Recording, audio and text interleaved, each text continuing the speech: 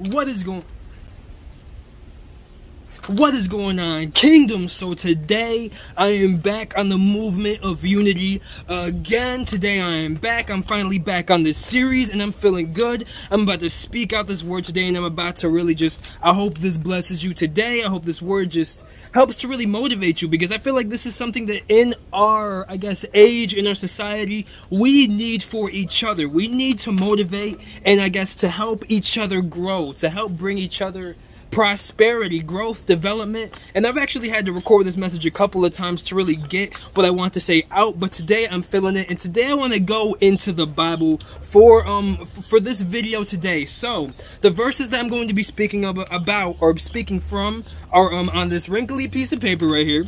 And um it is Galatians chapter 6 verses 1 and 2, which they say, "Brothers and sisters, if someone is caught in a sin, you who live by the Spirit should restore that person gently. But watch yourselves, or you also may be tempted. Carry each other's burdens, and in this way you will fulfill the law of Christ. Now, what these verses really heavily speak about is about um, helping others, helping others with the burdens that they carry, being a part of those burdens that they are carrying, help them to carry them because we have to work together as the body of Christ. And this is something that I feel like we miss out on, a lot of us a lot of us in society nowadays in the age that we are living in we miss out on um, these verses right here just in our lives. We're really taught hey man listen you got to work on your own uh, you got to work on your own purpose. You got to do i do i'm doing my own thing. I'm doing me you know you do you i do me and i'm gonna go and work towards i'm gonna get this money i'm gonna do i'm just gonna do myself I'm not gonna you know?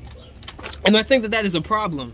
I think that that is a big problem that we are facing in the society today. Most definitely. And what I want to um, say is, right, I want to give an example for this video today, and it's going to be working out. That's going to be one example, as so many examples we could use as to, you know, something we may want to accomplish for the greater good, for the purpose that God has given us. You know what I'm saying? I want to start working out more. I want to start getting more physically fit. I want to start getting, and listen, I'm not in the best shape ever. I want to start getting into better shape, right? And one thing that is not a weak thing, it's not a bad thing, it's an actually important thing. It's something that we are supposed to understand, especially as the body of Christ, is that we should be working together. We shouldn't be fighting these things on our own. We shouldn't be fighting the spirit of laziness or the spirit of, you know, um, just, just whatever's trying to hold us back, whether it's depression, sadness, um, anxiety, hurt, whatever it is that's stopping me from feeling open to working out. Again, discipline is also a thing, but we can help each other to accomplish discipline. And this is the example that I'm going to use for it, right? Say I'm trying to work, I'm trying to get fit, I'm trying to start working out. And again, I've recorded this video already a couple of times trying to get it, but this time I got it, right? Because I feel it a little bit better. I had to speak and develop discipline with myself in the way that I'm speaking, the way that I'm saying things, because I was repeating a lot of stuff, and I'm like, hey man, it's time to really pull out, it's time to really pull out what God has given you. Let's do this, let's push through this, right? And that's what these push-ups are about to be. One, two, three, four, five, six, seven, eight, now I could keep going. Right now today I'm feeling motivated. Think about it like this. Today I'm feeling motivated. It's hot outside, man. It's difficult, but I'm motivated. I'm feeling it. I'm ready to push through and put in this work. But think about the next day.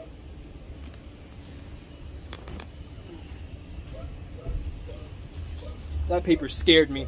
But, I'm a little scared. You know, I'm just not, uh, I don't know.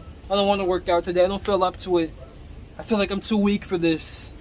I feel like I'm too, you know, I can't. Just not today. And you know what? We look at people that have that mentality during a day or whenever they have that mentality, we look at people with that mentality and say they're weak for it. They're not working hard enough for the body of Christ. They're not doing enough, you know, they have they need Jesus. They're not working hard enough. They're not putting enough. They're not reading their Bible enough. They're not praying enough. Now listen, I just want to say that sometimes, and I, I know I've talked about this a lot on the movement of unity, but sometimes if we can help to be there for others in those situations when they feel that way, whether I feel that way in the day or not, you know, or anybody else does. Having somebody that can be there in that position with them. Or maybe I just feel unmotivated. I don't feel like doing nothing.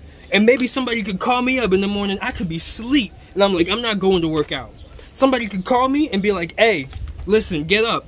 We're about to do this. I'm your gym. This is like your gym partner or something. Again, there's nothing wrong with having people that you do these kinds of things with together. You shouldn't be doing these things on your own, to be completely honest with you. And it wasn't really, I personally believe it wasn't 100% like that in the beginning like in the beginning of times the way that society was i feel like it was so different. Looking at um you know just the different places as i read in the bible and how everybody was labeled by these different places that they were in because everybody worked together in these different places you know? Like you can talk about the community of wherever the heck that i'm at but you know that's not what they're going to label me by is a person like it's, it's just it's it's different it feels like nowadays. It feels like it's different and I wish that we all just found ways, I can say I wish, right? But I want to push towards this.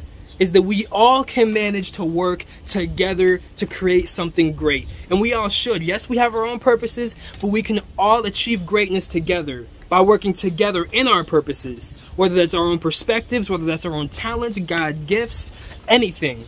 We can work together. You know, maybe one person is great at speaking and maybe another person is great at something else that could help build up a company. Or maybe one person is good at understanding chest workouts, I'm better at understanding ab workouts. And guess what? We can learn from each other's perspectives. And I can get better at doing chest workouts and I can start working out for real. You know what I'm saying? Like, it's just, it's important for us, especially with discipline.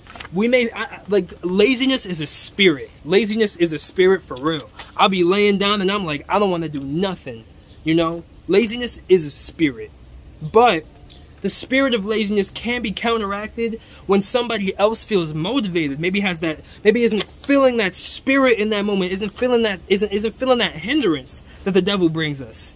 Then that can help to understand another perspective and and that can really help for me to push through and fight through with the devil. That's how we box the devil. We fight the devil. We fight him. We fight the enemy. We got to fight the enemy right? We got to fight him. But we can fight the enemy with the body but you shouldn't be having to fight the enemy by yourself. We have to fight the enemy with the body. And guess what? God can help you do that. God can help you find others that will help you, soldiers. You know what I'm saying? People, like, there's so much, there, there is so much of us saying, hey, this person isn't doing enough. This person isn't, but think about the circle that they're in. You know, a big part of it is sometimes we really just need to find the right group of people that really, really want the best for us because those are our family. Those are the people that have love for us at the end of the day are those that want the best for us. And we can work together to create great things, make great things happen, whether it's to achieve um, respecting the body that God has given us, by working out and respecting and showing respect for it. Not to look great, not to look all these ways, but to respect the body God has given us by showing him, hey, I care about this body. I'm going to work hard to strengthen it and make it better so I can be a leader and I can respect the body you have given me. You know what I'm saying? And that's all I really wanted to say for this message. I don't think there's much else. I'm glad I finally got this one out there again. I am working on speaking better. I am working on it. I've already recorded this video and I feel like this time the spirit really came in and really helped me push through with this one. You know what I'm saying? And sometimes we just need for, I mean, even the encouragement from the Lord, of course, is very, very important. Sometimes though other people can bring that encouragement from the Lord through them by speaking to us and saying, hey, you know, man, you are better than this. You can make this happen. Come on, let's get up. We're going to make this happen. You know what I'm saying? You can be encouragement for somebody, and you can also find a circle that will help you to encourage. Because guess what? We are the body of Christ, and we are meant to work as a unit. And this is the movement of unity. That is what I'm speaking on. Is the importance of moving in unison, moving as a unit, not moving by our dang selves. Because guess what? We can't do that. We already know we can't do that. We pray to the Lord. You know what I'm saying? We are servants of the Lord. We are servants of the Father, of, of Father God. We are servants of the Lord Jesus Christ. We are servants. And as servants, we must work together to get better at being better servants and becoming better as individuals. And that's all I really got to say. I appreciate you. God bless you. I hope this message has blessed you today. You know, I'm very um, thankful to be able to have done this. And you all have an amazing day. Thank you and God bless you.